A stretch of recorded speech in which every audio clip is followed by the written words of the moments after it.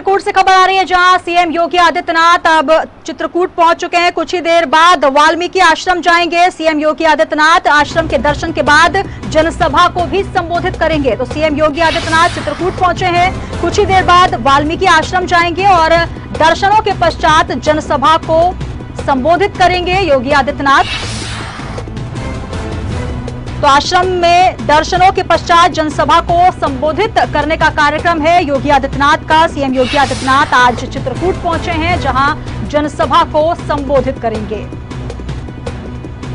और जनसभा को संबोधित करने के पहले सीएम योगी आदित्यनाथ वाल्मीकि आश्रम पहुँचेंगे, जहाँ वे दर्शन करेंगे और दर्शन के पश्चात जनसभा को संबोधित करेंगे। तमाम जानकारी के साथ चित्रकूट से हमारे सहयोगी दीपक त्रिपाठी जुड़ चुके हैं। दीपक सीएम योगी आदित्यनाथ चित्रकूट पहुँचे हैं। आज दिन भर का क्या कुछ कार्यक्रम उनका प्रस्तावित है?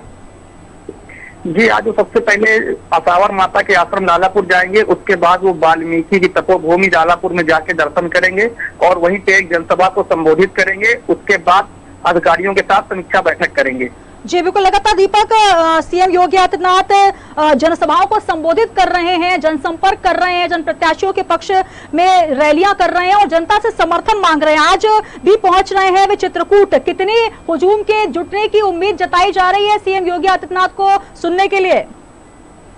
यहाँ पर अभी काफ़ी संख्या में लोग मौजूद है सीएम योगी को सुनने के लिए और अभी काफ़ी हुजूम यहाँ पर आता जा रहा है।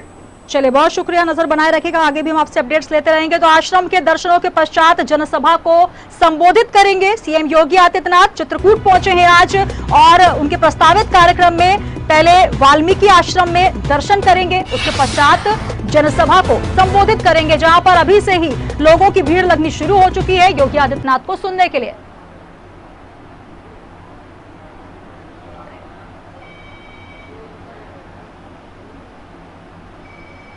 और इसी के साथ इस बुलेटिन में इतना ही। दीजिए इजाज़त और आप बने रहिए न्यूज़ वर्ल्ड के साथ। इस बुलेटिन के प्रायोजक थे। रूप मंत्र आयुर्वेदिक फेस क्रीम। ये कोई कॉस्मेटिक नहीं।